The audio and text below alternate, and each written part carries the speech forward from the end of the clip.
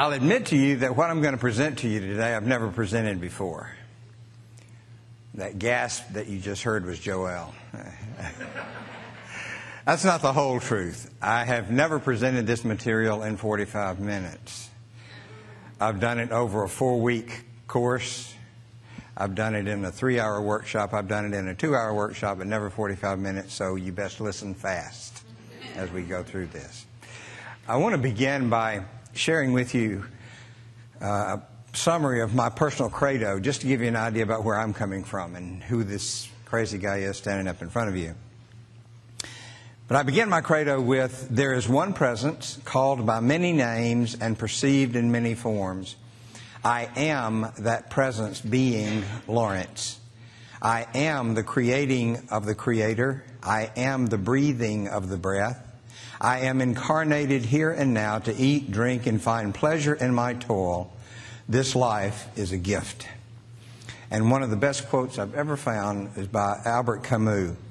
If there is sin against if there is sin against life, it consists in hoping for another life and in eluding the implacable grandeur of this life.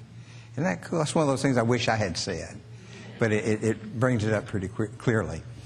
Well, the official title of what I'll be sharing with you was Creating the Life of Your Dreams. How's that working for you?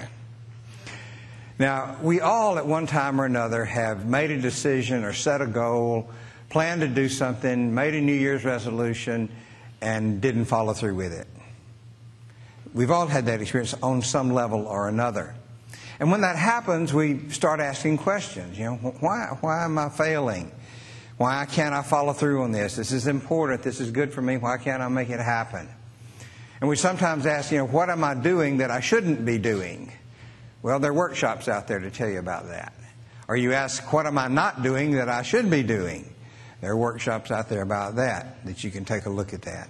But we start looking at ourselves, and a couple of the things that come up. One is that we start thinking, well, I'm really good at making bad decisions and I'm not very good at making good decisions. And we kind of get down on ourselves a little bit. And then we think, well, I'm, I'm just a failure. I'm weak. That, that's one I hear a lot when I'm working with people. I'm, I'm just weak in that way. And I want to, this is a little bit of an aside, but I want to say to you that you are not weak. And you cannot fail. Now that's Lawrence speaking there.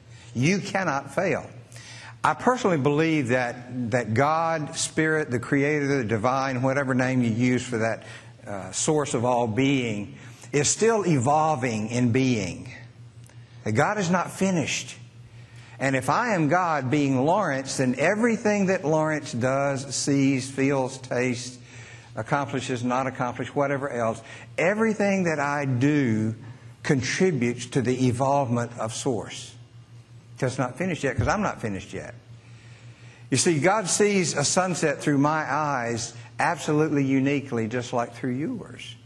So every time I look at a sunset and go, ah, like this, that experience registers within the being of the Creator. And the being of the Creator is enhanced because of that. So everything I do, everything, did you get that? Everything I do. That reminds me of a story. Have you seen those advertisements of the elephant with pistachios?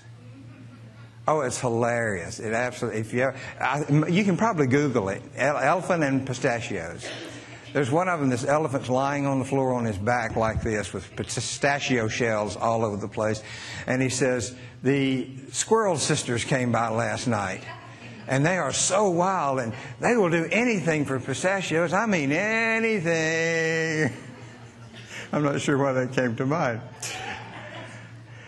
But you can't do anything and fail. Because nothing is a failure, because everything you do, everything you do is registered in the being of the creative source. And it contributes to the evolving of that source. I believe that with all my heart, and it changed the way I looked at the world when, that, when I began to look at things like that. So when you set a goal and don't reach it, when you make a New Year's resolution and you procrastinate, when you fail to do whatever it is that you're planning to do, and you begin to think of yourself as a failure, I would encourage you to put that word, you've heard it already, put that word out of your vocabulary. Don't talk about being a failure because you can't fail. Everything you do, even if you don't reach the goal you've set, you've still set the goal and not reached it. And that in itself is an experience which registers in the being of God and enhances and evolves the being of God. Now, I'm not saying throw up your hand and say, oh, it doesn't matter whether I do anything at all or not. If I just, you know, slip through life, that's okay too. Because even that experience, being a bum, being broke, being sick, all of those things are experiences that are registering within the being of God, and it's not a failure. Now, I choose not to be those things because I really don't like that kind of experience at all. There are better experiences to be had. But in the process, when something happens that you or someone else would consider failure, let it go. It's not a failure. So you cannot fail. That helps you a whole lot when you're asking those questions about why am I not fulfilling my promises? Why am I not going through with my New Year's resolutions? Those questions come up for you. And knowing that you can't fail is really important. Now, so you're not weak in character at all. Now, what, I, what we perceive and often label as failure is actually the working out of a dynamic that I call primary decisions. Now, I want to share with you a, a little vignette of something else I teach. I've recently started calling it the, the Palmer paradigm because nobody, I never heard anybody else say it, so I claimed it, put my name on it. That is when I'm investigating, when I'm researching, when I'm trying to learn something new, I ask three questions. What is it? What is it? So what? Now what? What is it? Define it. Figure out what you're looking at. Then say, so what? Why am I taking time to do this? What's the importance of it? What's the significance of it? And then now what? What do I do about it? And we're going to use that paradigm as we, as we look at this idea of, of not following through on things. So I call this a primary decision because it is so important. Now, what is a primary decision? You've heard a lot of people have been credited with the, with the statement that a human being is a tool making animal. A lot of people claim credit. And the evidence seems to be that Benjamin Franklin is one who actually said it first of all. So thank you, Ben. That a human being is a tool making animal. And an anthropologist would agree with that, that we are tool making animals. A sociologist would say that we are community making animals. A psychologist would say that we are idea making animals. And probably a philosopher would say that we are meaning making animals. So it is this process of making meaning of our world that comes, that eventually flows into this process of making a primary decision and having those be a part of our life. So we are meaning making. One of the things that we try to do is make sense of our world. How many of you like fairy tales? Well, now or as a kid, you know. You can still like them now as you're an adult. I love fairy tales. I had three books about that thick of fairy tales. I'd love to read when I was a kid. And what are fairy tales all about? They're trying to make some kind of sense of this world that we live in. They're trying to find meaning. That's important. Humor is about trying to find meaning. Deep, serious stuff is about trying to find meaning. When I went to seminary, I went to Southern Baptist Theological Seminary in Louisville, Kentucky, and the theology building was sinking on one end. And we always joked about the professors that were down on that end of the building. There was so much heavy theology, it was sinking the building into the ground. So we can, we can get input from that realm as well when we start talking about primary decisions. Now, as you are a child, even though you may not have the sophistication of language down pat yet, you are in the process of looking for meaning and assigning meaning to the things that are around you. Uh, Bev and I have a, a two year old granddaughter who's just a few minutes from where we live, so we get to spend a lot of time with her watching her develop. And we got a, a little one too, just born, so he's going to follow along there. But at Easter, we had her over and we're dyeing Easter eggs. And of course, you know, her attention span's about that of a gnat, you know.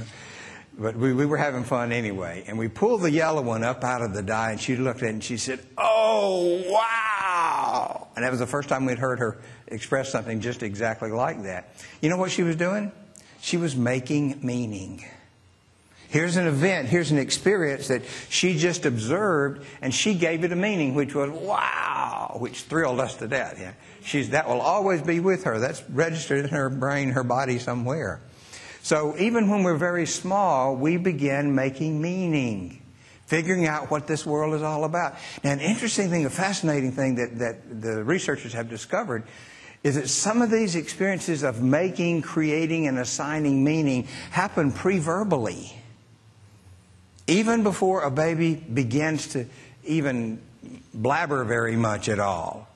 We're in the process energetically of making meaning of our world. You've all heard that idea about, about babies that don't thrive. Babies will not thrive if they're not touched. Well, a baby who do, is not touched and misses that assigns some kind of meaning to that.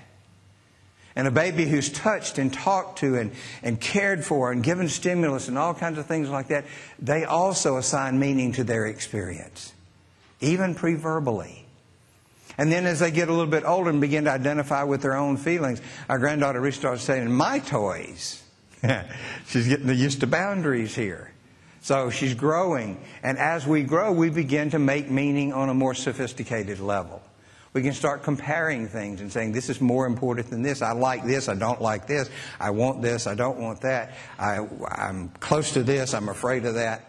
That begins to happen to us. And as we go about making meaning, another thing that follows that is making primary decisions. Now, a primary decision is something that you decide, something that you choose that's on a very deep level. And it has to do in a big way with what's going on in your world. When you experience the world, again, you, you give it meaning, and from that meaning comes the primary decision, such as a child who is neglected will give the meaning that I'm not important, I don't matter, and this world is certainly not a pleasant place. It's not a good place to be. That happens even preverbally, but it's there energetically nevertheless. We begin to, to see other things. We see that we're loved, and we start, start to think, well, I must be pretty special. Oh, that reminds me of a story. Um, you know, the, the difference in dogs and cats, and dog lovers and cat lovers. What happens is if you call a dog, the dog will come to see what you want. All right? You call a cat and he'll take a message and get back to you later. but we have experiences where we're loved and we say, I am adored, I am appreciated, I'm valuable, and the world is a pretty safe place. Now, what happens is that not only are those primary decisions made, but we hold on to them. There's this mechanism within the human being that when we learn things, it sticks with us, especially the things that we learn when we're young. How many of you, well, some of you are old enough to know when we didn't use seatbelts very much? Remember back those days? And remember when the kids were allowed to sit in the front seat? You know, we don't have to strap them in this armor clad thing in the back seat. Well, I shouldn't say that because that's a good thing. A lot of kids have been saved because of that. But anyway, I grew up during the time when the kid's standing up on the front seat beside you. And you stop quickly, what do you do? You put the arm out. Okay, you know about that. I see, yeah. My baby boy is now 46 years old. And you know what happened the other day when I was driving down US 1? A Florida driver stomped on his brakes. You know what I did? My baby's that old and in Chicago, and I'm still doing this. Why? Because I made a decision to take care of him, protect him, and it's still there. These things are incredibly resilient. So be careful the decisions that you make. Now, the insidious part of, of this whole scenario is that it doesn't matter whether it's good or bad. Wouldn't it be nice if all the good things we learned were tenacious and all the bad things were just kind of mushy and disappeared, right? No. The good things that we learn hang around because every day we can wake up and we don't have to learn them all over again and we can go on and experience the goodness of life. Well, the bad things that we learn are the same way. The bad habits, the bad decisions you make, they're just as tenacious as the good. And we wonder why we have so much trouble changing our life. These primary decisions are made at a very, very deep level. And they're tenacious. They hang in there with us, both good and bad. I don't usually use notes, but I am today because I need to stay on track on time. Um, okay. Some of the things that we say to ourselves that turn into primary decisions. Something like, um, I will never be hungry again. I will never be poor again. I will never be afraid again. I will never be vulnerable again. Any of you ever said those things? Are they going on in the back of your mind? How about F you? Yeah? Uh huh. Every day. yeah. But that, for some people, that is a primary decision that's at the very basic, the foundation of their life. What about, you're not the boss of me? You can't tell me what to do. Oh, yeah, I'll show you. There's a wonderful story about a little boy. And his mother said, Sit down. He said, No. She said, Sit down. No. She said, Sit down. He said, No. And she went over and shoved him down in the chair. And he looked up at her and said, I may be sitting down on the outside, but I'm still standing up on the inside. How many of you are still standing up on the inside when you go out in the world? How many deal with your boss and say, yes, sir, yes, ma'am, and you're still sitting, standing up on the outside? Huh? Those are how the primary decisions work. These primary decisions determine how your life goes.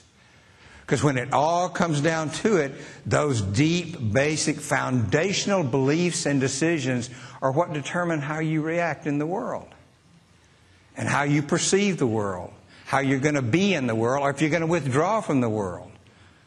You've either known people or heard of people who had such a negative experience growing up and created such uh, painful primary decisions, they withdraw from the world. They refuse to go out, they refuse to interact with people, they refuse to be in a community.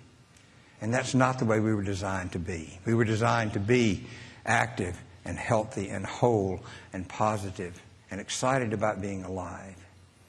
Charles Fillmore, who along with his wife Myrtle founded the Unity Movement, said when he was in his 90s, he said, I fairly sizzle with zeal and enthusiasm and spring forth with a mighty faith to do the things that ought to be done by me.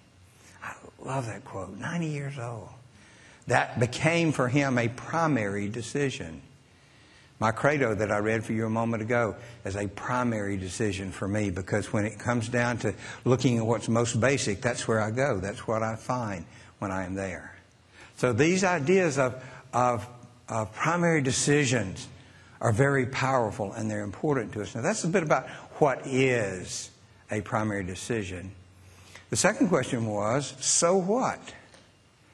Why do we even talk about this? Why are we concerned about this at all?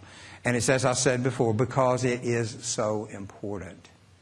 Well, let's, let's mention just three areas. I mean, you could do dozens of areas in your life where this thing plays out, where it's a part of it.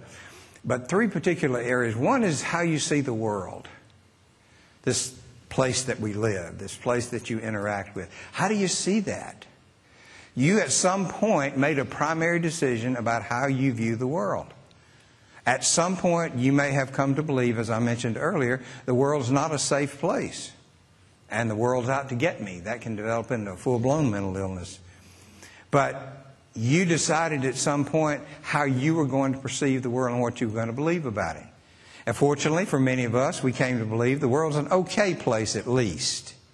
If not great, at least it's okay. I don't worry about somebody's, you know, after out to get me. I don't have to worry about the world deliberately hurting me. I don't have to be afraid when I go out. But, you know, it's just kind of, eh.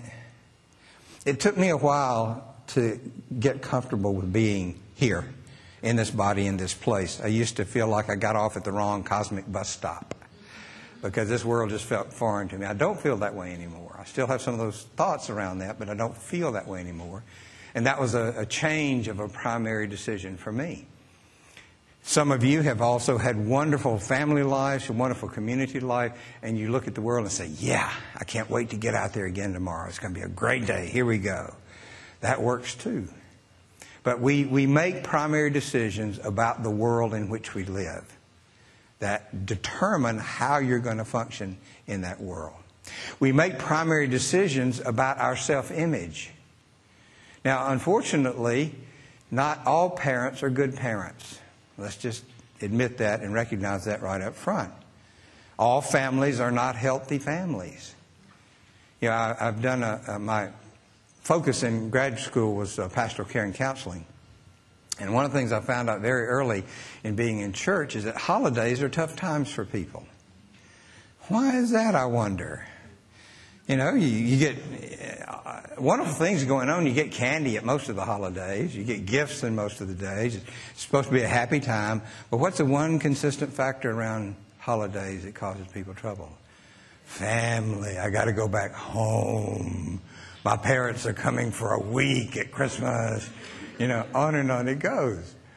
We make primary decisions about ourselves based mostly on what other people say and do as it should be, because ideally, uh, I had an office manager one time, he used to always say, in a perfect world, you know, this is the way it would be. Well, in a perfect world, we would all have perfect, loving parents and a healthy, functioning family, and that's what we would learn about ourselves from.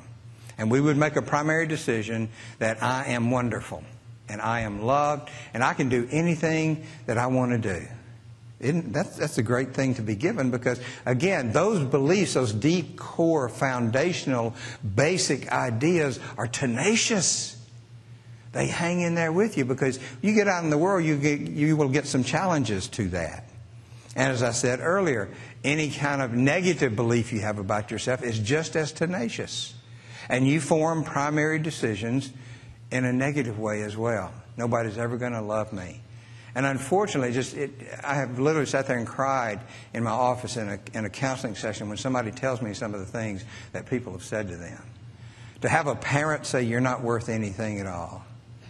One, one lady said, her father said to her, You're not worth a spit on the sidewalk. How do you do that to another human being, much less your own child?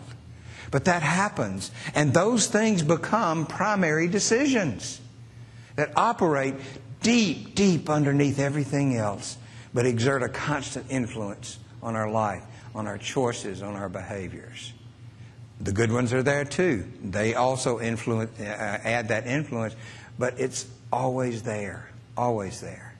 So we make primary decisions about our self image based on what the world tells us and what's going on around us. Now, fortunately, you folks are on a spiritual journey. You're here. You're learning, you're growing, you're challenging those things, and that's good. Uh, it's great that we can, can heal, that we can come to that place of changing our mind, but wouldn't it be wonderful, too, if we didn't have to do all that hard work? Well, maybe, maybe some of you gluttons for punishment. That's all. You can do that, too. So, our primary decisions are made about the world that we live in and determine how we interact. The primary decisions are made about our self image. How do we see ourselves? What do we believe about ourselves? And that hangs in there with us. And we also learn about relationships. We have primary decisions that we make about relationships, and we play those out. No, no hands this time, invisible hands, as I used to say. But how many of you have been in the same relationship over and over and over? How many of you made the same choice with the same kind of person more than once? Why does that happen? Because you made at some point a primary decision about what a relationship is like. And maybe this time it's going to be different. Maybe this time it's going to be better. Is it? No. Because you've set that pattern and you keep repeating it over and over. I've heard of, I've, I've, worked with people who would get in a relationship and then break up before the other person can break up with them. You know, I know you're going to hurt me, so I'm going to hurt you first before you can hurt me. Over and over again. Why? Because these primary decisions are so tenacious and they're so ingrained in who and what we are at such a deep, basic level. Remember, many of these decisions were formed pre verbally. And that kind of energy you can't access with your smart mind. Just because you have a degree in psychology or whatever else. Those decisions are coded in energy in you. And just simply, great ideas won't get to them. We'll talk about that in just a moment. So, what is a uh, primary decision? So what? Why are we concerned about it? Oh, I know one example I was going to share with you is that of a computer. Now, you don't have to be a computer geek to, to understand this illustration. I know very often when I'm speaking, I mention computers, and several people roll their eyes, like, you know, I don't even know how to turn the thing on. I, remind me of a story. Uh, there was a guy called the tech line for help for a computer company and said, you know, I, um, I broke my cup holder off on my computer. You know, the little disc that comes out where you put the CD in it. He broke his cup holder off. And the guy on the phone, the help, the guy who was supposed to be helping, said, "Do you still have the original box your computer came in?" I said, "Yeah." I said, "Well, pack it all up real neatly, take it back to the store you got it, and tell them you're too stupid to have a computer." but when you turn your computer on, there is a default in operation. The, the factory set it there's a certain font that comes up. There's a certain font size that comes up. There's a certain spacing that comes up. It's default. It's there. And every time you turn your computer on, there it is. And that's good. Because you don't have to wonder what's going to happen. It's there. Well, what if you want a different font? Well, you can go up and pull the menu down, change the font. You want a different size, change the size, spacing, all of that. Type your letter. It's just like you want it. Great. Turn your computer off. Come back tomorrow. Guess what? It's back to the default. It went back to what it was before, what had already been programmed in it. Now, even people who have failed from time to time to accomplish what they want to accomplish, even people who've not kept all of their New Year's resolutions at t- some time or another have done something successfully. You've made a decision and stuck to it, and you're really proud of yourself. Sure, that happens. But what happens when it gets tough? When times get hard, when you're faced with a challenge? What happens is you revert back to the default that you've created and built up by the primary decisions because they're always there. And if you get challenged, if you get tired, you know, what's the thing? Um, halt, hungry, angry, lonely, tired. When you start getting like that and your reserves are down, guess what comes up? All those decisions all those primary decisions that you make, good or bad, healthy or unhealthy, they come up. So what happens when you have made a decision, you're gonna you have a New Year's resolution, you're gonna quit smoking. That's something I've never dealt with, so I'll use that example. You're gonna quit smoking. And it doesn't work. And you start beating yourself up. What comes up for you? What comes up? Everybody wants me to quit smoking. I'll be damned if I'll quit smoking. You're not going to tell me what to do. Now, you may not say those words. You may not even hear those words. You may not even cognitively be aware of those words, but energetically they are imprinted in that primary decision, and it's there. And that's why it happens. And the harder you push, the harder it pushes back. You take a rubber band and just hold it in your hand, it's just kind of loose and floppy, right? Nothing going on there. And you start pulling it, though, what happens to the rubber band the further you pull it? It gets tighter and tighter and tighter. There's more resistance. And when you start resisting these primary decisions that you've made along the way, the more you resist, the more you get resisted. The harder you work, the more you swear, this time I'm going to make it work. That primary decision is saying, oh, yeah, watch this. So it's not for the lack of trying hard.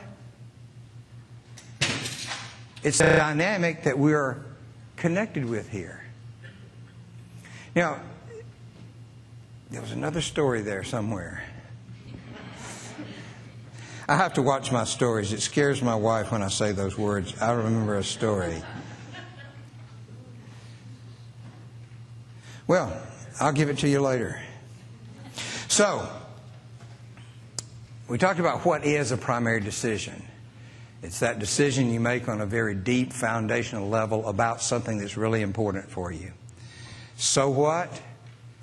These primary decisions determine how your life goes. The challenging part is they're so often unconscious or subconscious, and they come from a preverbal background. They're there for us, they're there in us. So that, that's the so what. Now what? Given that little bit of information that you know, and I know I haven't given you a whole lot because of the time factor, but given what you know, now what? What do we do about this? The recognition, the awareness that this dynamic is in operation is really important, and it's an important starting place for us to realize hey, I know something now, I can do something about this. That makes a big difference. Now, I want to give you a little bit of a vignette of another program that I do that, again, is another four week course. But I call it Credo Cupido Scio. Those are Latin words. Credo means I believe. Any of you ever done a credo paper or a credo project in school or anywhere? Hmm. Okay, credo is a Latin word that means I believe. And the credo process is about looking at what you believe and what you say you believe. Cupido is a Latin word which means I want or I desire. That comes along and you look at what you say you desire and what you really desire. And scio is the Latin word which, which is connected with, with science. I know. I had a fifth grade or sixth grade science teacher named Elsie Woodward. She was about this tall and she was just a spitfire, and she loved to find excuses. Back then, teachers paddled students. She had a reputation for swinging a mean paddle, I'm telling you, and she looked for opportunities to do that. But anyway, she said in her class, if you don't remember anything else in this class, you remember that science comes from a Latin word which means to know. And thank you, Miss Woodward. I still remember it. I honor her in that. So, Cupido, I believe. Uh, credo, I believe, Cupido, I want, Scio, I know. Now, if we begin to look at those things, we realize that we sometimes say one thing and really believe something else. So we sometimes want something, but we really want something else. And sometimes we say we know things and we really don't know at all. So, this is another step in being able to change these primary decisions. I didn't want to give you the idea by talking about how tenacious they are and how basic and fundamental they are that they're out of reach and being pre verbal and subconscious and all that. They're not out of reach once you become aware of that dynamic. And then you begin to ask yourself the questions about I say I believe this, but do I really believe it? You know, how many people in traditional Christianity, and I grew up in traditional Christianity in, in, the Baptist church, and I am so very incredibly grateful for that experience. I had a wonderful experience in the Baptist church. But I've discovered through, the, through my own transition is that there are many people in traditional Christianity who say they believe in hell, but they really don't. There are some people who say they believe in salvation, but they really don't. You know, one, one of the most heartbreaking experiences I had as a, as a minister there was an old gentleman in one of my churches who was the salt of the earth, as they say, give you the shirt off his back, do anything for anybody. And I was with him as he was dying. And he was terrified that he had committed the unpardonable sin and didn't know it. And he was going to go to hell when he died. Just broke my heart that this man who had lived his life loving people and was dearly loved by everybody around him could die with that kind of feeling because all through his life he said he believed in salvation and forgiveness and all that, but he really didn't. And what do you think really was the most, the biggest part of his life? It's that which he didn't believe. Same thing with wanting. How many of you have said, I want that job. I want to be, you know, what that job represents. I want to be this corporate giant, whatever. But in your mind, you're saying, that's not what really I want to be. I want to be a gardener. And when we, when we create those situations where we say one thing and we really feel and believe something else, we create a dissonance within us. In, in New Thought, there's a term called, in old time New Thought, there's a term called chemicalization. That's where a new idea meets the old ideas within us, and the battle starts when, when people get introduced to new thought and all these woo woo, weird, wonderful ideas, it challenges what's already there and it creates this stir within us. Well, anytime we say, I believe this and I really don't, you're creating that tension within yourself. Anytime you say, I want this but I really don't, you're creating that cognitive dissonance, that unrest that's inside of you. And that's one of the clues that you've got a primary decision operating that's not, as the, not the best for you. So the first beginning is to recognize there is this dynamic going on inside of me called a primary decision. And it determines how I see the world and how I interact with the world. And if it's not working right, if it's not doing what I want for it to do, I can change it. I can make a difference there. Now, in New Thought, there's in Unity New Thought at least, there's another um, paradigm that we teach called the creative process. It's mind, idea, expression. From the one mind that is formless, there comes an idea which is a form, and then it's manifested out into 3D reality. And we use that, we, we teach that to create, to manifest out in the world. Well, a few years ago, I got to thinking, and, and, most of the ideas that I have come from working with people and seeing what people are dealing with. And somebody said to me, basically said, You know, you taught me how to create, but you haven't taught me how to uncreate. Because 20 years ago, I created this idea, I created this situation uh, using the creative process, and it was great, but I don't need it anymore. And it's in the way, and I want to get rid of it. I don't know how to get rid of it. I created it, but I don't know how to uncreate it. You know, we're, we're amazing like that. We can create poison that we can't make unpoisonous. We can create radiation and can't create unradiation. But we can change what we have created through the creative process. I call it creative process 2.0. And that is, we turn it upside down. We look at the experience that we're having. We're looking at this primary decision that's no longer serving us, that's in our way, a belief that we're not worthy, that we're not cared that, a belief that the world's not a safe place, a belief that all relationships end in tragedy. We want to change those things. So we begin to look at it as this is the manifestation. Remember the creative process? Mind, idea, expression. When we flip it over, we start with the expression. Here's this expression, this primary decision that is not serving me. Let me back up and look at the idea behind it. Let's look at the energy that is behind it. And you folks are into energy. You, know, you, go, out, you go out in the world and say energy, and people's eyes glaze over. They don't know what's talking about, what you're talking about. But you know better. So we, we go to the energetic level of an idea. Now, this is, and this has already been hinted on a little bit earlier. We look at this primary decision and we appreciate it. We thank it we bless it because at some point it served you. Everything that you believe served you sometime. Everything that's irritating you now and in your way and aggravating you and keeping you from fulfilling whatever you want to fulfill, everything there served a purpose at some time and it served you at some time, even though it doesn't now. So it's important that you look at that energy, that idea, and say, Thank you. It worked, great, but, but I don't need this anymore. I need something else and then move that idea back to mind. Remember, mind, idea, expression. Turn it over expression, idea, mind. And you take that idea and you dissolve it back into pure energy and let it go into the universe. And then you can say, it's time for a new primary decision.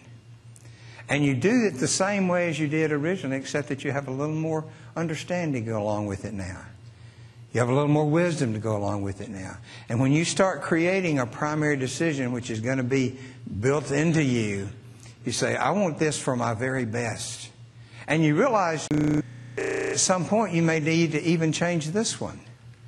But you know that you can because you've already done that. So we find ourselves in this situation where it's not hopeless and we're not failures by nature or by character, but we live in a dynamic world that we can influence, a dynamic world that we can change, and that we are dynamic beings that are constantly in the state of being remolded and reshaped. And there are other ways to do it. My way is not the only way. It's the best way, but it's not the only way. Um, But I invite you just to take these ideas and chew on them a little bit and see how that works, how it fits. Because I always love to hear something that I hadn't thought about before, and all of a sudden this idea comes up and this idea comes up, and then there's this cascade of ideas that take me in a new direction. And I hope that, that this will happen for you regarding primary decisions. Let's see if there's one more thing that was there.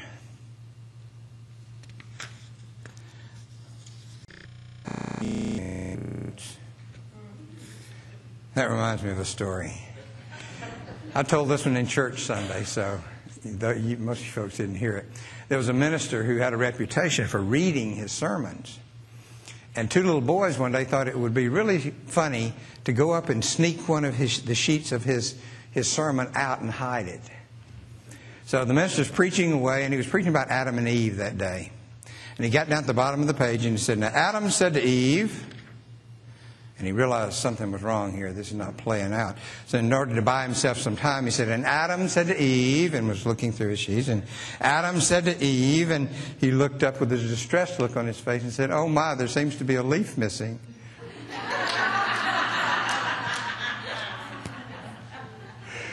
so I shy away from notes when I can. But I wanted to end with, with um, one of my favorite poems that I happen to write that um, kind of sums up how I feel about the world, how I feel about myself, how I feel about others.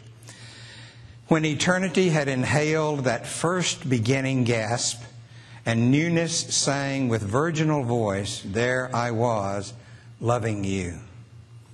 Even when eternity has exhaled that last ending breath, and all of creation pauses in completed stillness, there I am, loving you.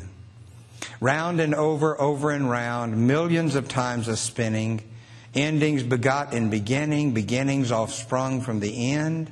There I will always be, loving you. Bless you.